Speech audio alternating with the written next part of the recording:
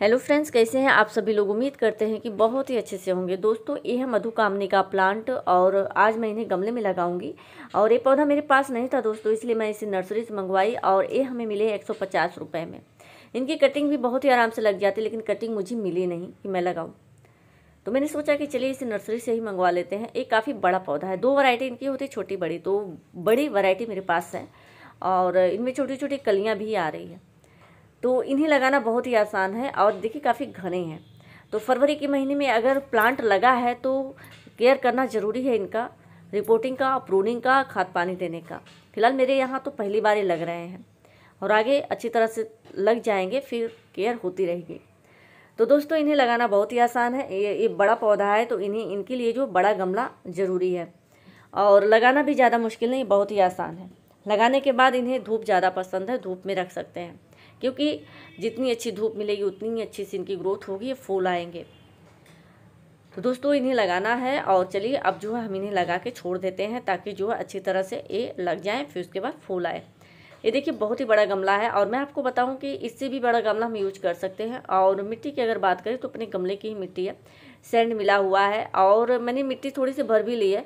इसमें एक हिस्सा मिट्टी सैंड है और बाकी जो है मैंने कंपोस्ट मिला दी है। तो दोस्तों, मैं इन्हें जो है इस पॉलीबैग से निकालूँगी। निकालने के बाद जो लगा दूँगी। तो मिट्टी ज़्यादा से ज़्यादा फोरस होनी चाहिए। जैसे मैंने बताया कि एक हिस्सा सैंड एक हिस्सा मिट्टी दोनों मिला हुआ है और एक हिस्सा मैंने कंपोस्ट भी मिला लिया है। तो कंपोस्ट की अगर बात हम करें तो वर्मी कंपोस्ट मिला सकते हैं, गोबर की सड़ी हुई पुरानी खाद मिला सकते हैं।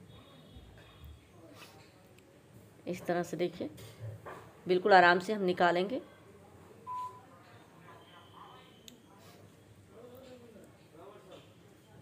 तो दोस्तों, ये जो पौधा है, बहुत ही कम केयर माँगता है। एक बार लगा के छोड़ दीजिए धूप में और बिल्कुल आराम से चलते रहेंगे। इस तरह से इनकी मिट्टी सूख गई है। क्योंकि मुझे लगाना था तो शुरू में एक दो दिन पानी दिए, फिर उसके बाद छोड़ दिए थे। ये देखिए, ऐसे नमी बनी हुई है, लेकिन बहुत ही सख्त मिट्टी है। तो दोस्तों, मिट्टी को हम निकालेंगे। देखिए, एकदम बिल्कुल जैसे चुंबक की तरह चिपकी हुई है। तो मैं इनके रूट्स को हल्का हल्का खोल रही हूँ ताकि जो है, जो हमारी नई मिट्टी बनी है, उनमें इनकी जड़ें अच्छी तरह से कवर हो सके, तब जाके हमारे कामने का पौधा अच्छी तरह से ग्रोथ कर सकेगा।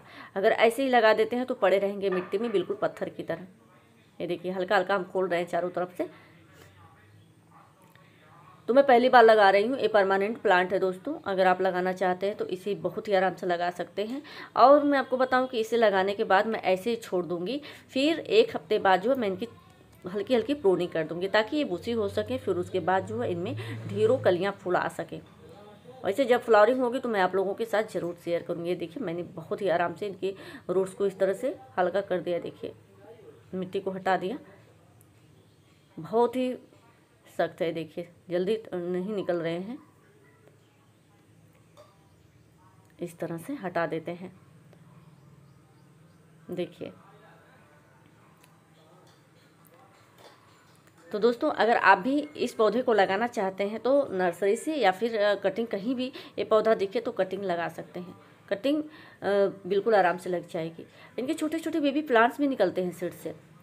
ये देखिए, इस तरह से थोड़ी सी मिट्टी हमने भर के इन्हें रख दिया और अब जो है किनारे किनारे मैं मिट्टी भरूँगी। और होल इसमें बना हुआ है दोस्तों। कोई भी गमला हो, होल होना ज़रूरी है। अगर पानी जमा होगा ना तो मिट्टी सड़ेगी, प्लांट हमारा अच्छा से अच्छा ख़राब हो जाएगा। इसलिए ड्रेनिंग सिस्टम अच्छा होना चाहिए। तो देखिए, किनारे किनारे में मिट्टी भर रही हो। बहुत ही प्यारा लग रहा है, काफ़ी बड़ा प्लांट है। और एक हफ़्ते बाद जो है थोड़ी थोड़ी कटाई छटाई कर देंगे, ताकि जो है, ये भूसी बन सके। तो दोस्तों, हर पंद्रह बीस दिन में जो है, इनकी मिट्टी की हल्की सी गुड़ाई कर देंगे, फिर उसके बाद जो है, जो भी ऑर्गेनिक खाद है, हम खाद दे देंगे, पानी पानी जो है, गर्मी शुरू हो गई है तो बराबर शाम के टाइम पानी देना ज़रूरी है, ताकि इनमें नमी बनी रहे। ये देखिए, हमने लगा दिया, और अब जो है, मैं पानी दूँगी। तो दोस्तों, मधुकामनी का प्लांट लगाना बहुत ही आसान है।